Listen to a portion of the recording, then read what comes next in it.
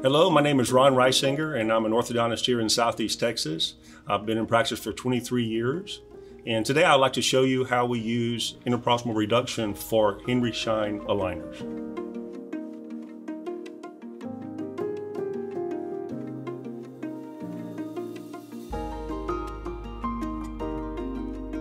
An assortment of items you may need for interproximal reduction include your lightning strips of different thickness, your QwikStrips of different thickness, your discs of different thickness and different cutting edges, your boom gauge for verification of IPR thickness, and your slow speed handpiece.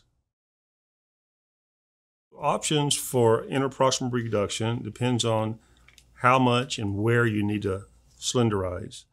I like to use these lightning strips. They come in different coarseness. They're all 0.1 millimeter thick. So the most coarse is a blue one. So I use it to break the contact. There is a non-cutting surface there. And you can use that to go right into the contact.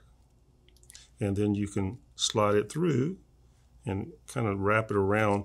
That way you maintain the, the curvature and not create a flat surface on the interproximal. So if this is 0.1 millimeters thick and you need 0.2 of IPR, you simply just need to double it over and it becomes 0.2. And then you slide both into contact until you achieve a good thickness. And keep it rounded. And then if you want to verify that you achieve what you started out to do, you can go through, there's your point one, and you can see how that slides in. And if you want to see if you got point two, same thing. If it doesn't slide in, you need to do a little bit more. So you'll take your strip, double it over, and finish your work.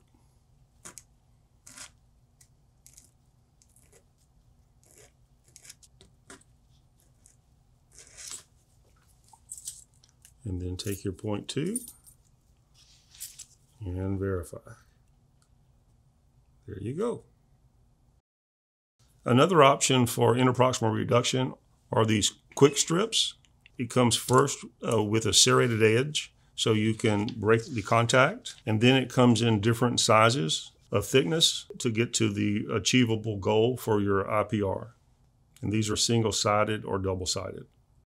So to use a QwikStrip, you hold it on the opposite edge of the blade and you get a finger rest and you line it up with the interproximal and you slide it through the contact. And the initial one will break the contact and then you'll need a 0.7 millimeter and it will go through the same way. And if your goal is to have point two you will keep going until you get to that desired thickness. Never tilt or lean the strip because it will create an open contact causing food impaction when teeth are brought closer together. We'll go back and check with our boom gauge. See, this is 0.1. Easy. Set 0.2. And perfect. So if I need a 0.3 or 0.4 millimeters of interproximal reduction, I will always use the disc. And the first step is you want to break the contact, and I'll use an interproximal strip, as we did before, and break the contact, and I'll double it over. And now I'm going to use it as a 0.2 strip, and that will break the contact enough. And now I feel comfortable using a 0.3 double-sided disc to get the desired width.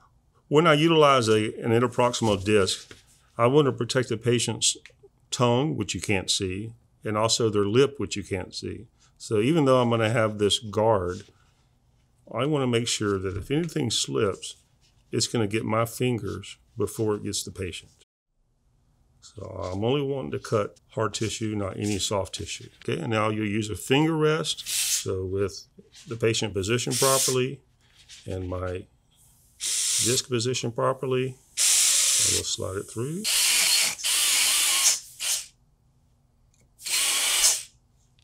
I'm going to go back with my strip to round off any edges. And then I'm going to measure. So now you want to check the boom gauge, get to the point three, and I'm going to pass it through, and it goes all the way down. When you're assessing a patient for the need of interproximal reduction, several things you want to look for. The health of the teeth, interproximal restorations, the health of the soft tissue, and you want to see the thickness of the enamel. And there's several ways to look at that. You know, you can look clinically at the thickness if the patient has worn teeth or not, or the better way is to go and look at the radiograph.